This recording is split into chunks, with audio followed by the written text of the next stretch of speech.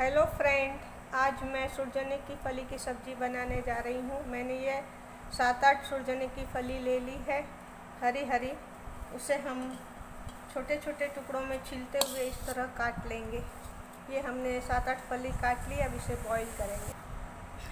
मैंने फली को धो के अच्छे से काट ली है। अब इसे बॉईल करने रख रही हूँ।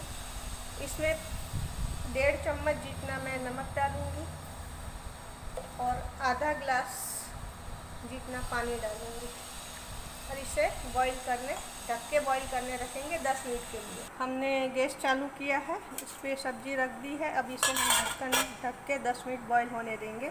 तब तक हम टमाटर काट लेंगे हम तब तक दो ये बड़े टमाटर लिए हैं और इसे हम बारीक काट लेंगे। धो के अच्छे से लिए हुए हैं। इसे इस तरह एकदम बारीक बारीक चॉप करेंगे।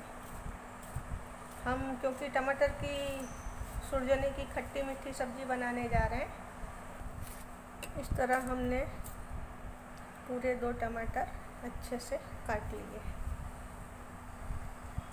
अब हम एक कढ़ाई ले लेंगे।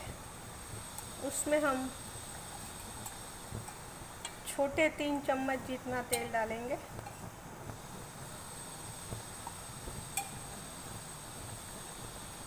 इसमें ज़्यादा तेल नहीं डालना है। इसमें हम थोड़ी हींग डालेंगे।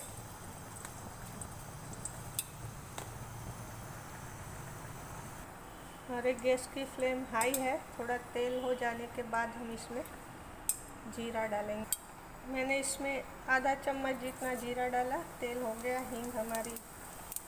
और पाव चम्मच जितनी हल्दी डाली। अभी जो हमने टमाटर चॉप करके रखे थे।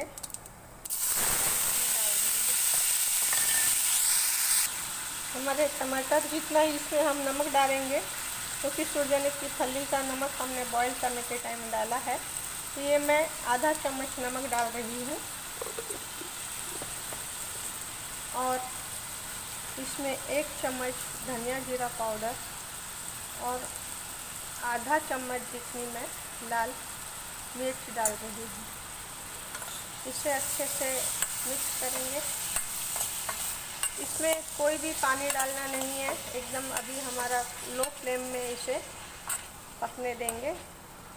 इसे हम एक ढक्कन से ढक देंगे। इसे 10 मिनट तक हम पकाएँगे। अभी हम सूरजने फली को चेक करते हैं। यह 10 मिनट हो गया।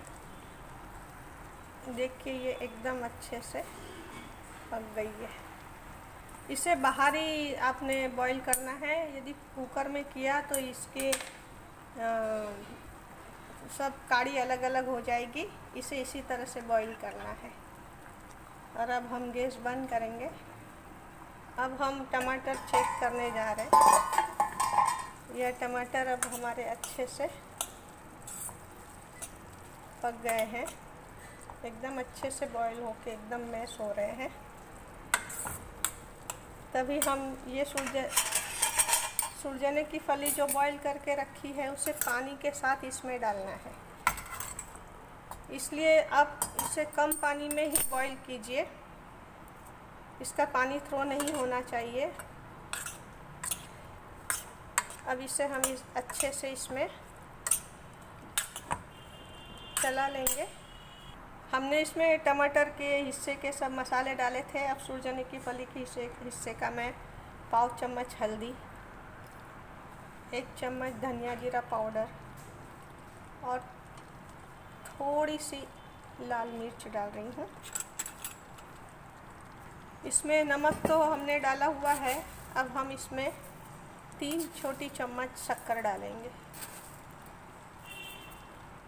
आप चाहे तो इसमें गुड़ भी डाल सकते हैं और यह सब अच्छे से हम चला लेंगे। इसे अच्छे से बॉईल होने देंगे थोड़ा फास्ट गैस में।